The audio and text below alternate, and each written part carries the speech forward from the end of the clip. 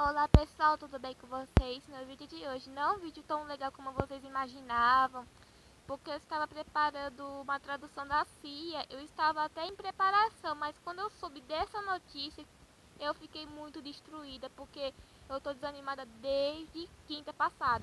E a notícia é bem triste pra caramba, e pra quem assiste ou já assistiu, o anime Tokyo Mil Mil ou aqui no Brasil como As Super Gatinhas. E pra quem não sabe, a Mia Yukumi, que é a criadora desse anime, morreu ontem de hemorragia. Eu não vou dizer o nome da hemorragia porque o nome é difícil e também em respeito aos fãs que estão muito tristes.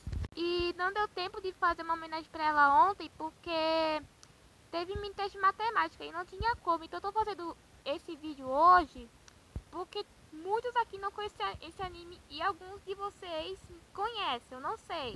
Eu era pra ter feito uma edit de uma personagem, só que eu tenho algumas edits pra fazer e pra terminar, e depois, em breve, eu acho que vai ser em julho que eu faço das Tokyo Mil Mil.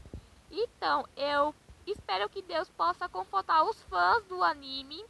E lembre-se, gente, eu sei que, é, que perder alguém que você gosta muito é triste, mas lembre-se, a Mia está produzindo Tokyo Mil Mil lá em outro lugar melhor, bem melhor que aqui.